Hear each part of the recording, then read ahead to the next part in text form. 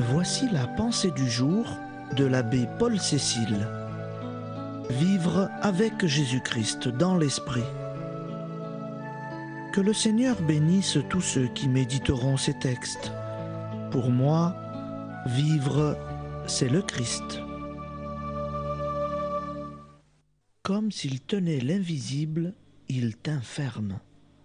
Et nous sommes le 15 janvier.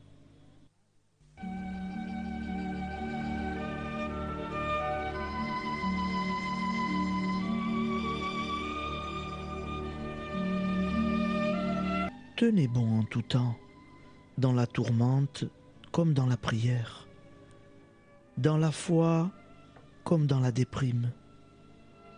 Ne soyez pas l'homme d'un moment, mais sachez résister au moment de la tempête, patiemment.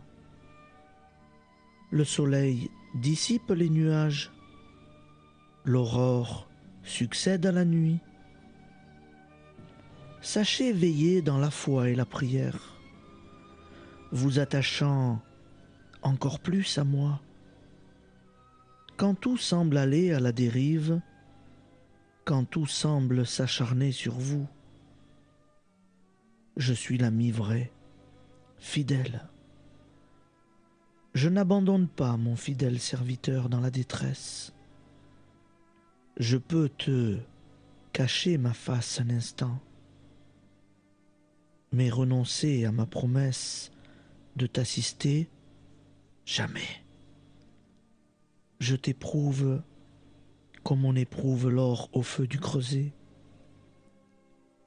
J'ai fait de toi le pays en qui je m'enracine jour après jour. Puise ta sève en moi, ton Seigneur, Jésus Sauveur je suis le ressuscité, l'invisible présent qui ait vaincu la mort du désespoir. Vis avec moi de ma force.